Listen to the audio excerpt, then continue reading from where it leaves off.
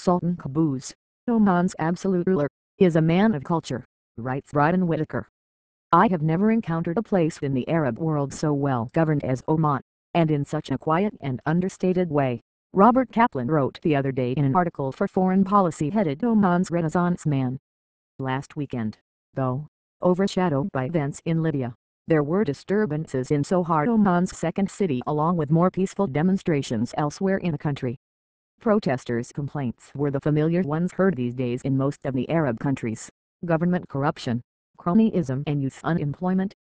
Oman has an exceptionally young population, 43% are under the age of 15, and even those who buy the line that Oman is well governed recognize that the authorities face an uphill struggle in providing jobs. The problem is evolving faster than they can provide solutions. One person who is familiar with the country and asked not to be identified told me this week. But there's another problem too. Even if Qaboos is a Britain-friendly, music-loving ruler with benevolent intentions he is nonetheless a despot. He doesn't tolerate criticism and his citizens have very few rights. They can't, for instance, hold a public meeting without the government's approval. Anyone who wants to set up a non-governmental organization of any kind needs a license. To get it, they have to demonstrate that the organization is for legitimate objectives and not inimical to the social order.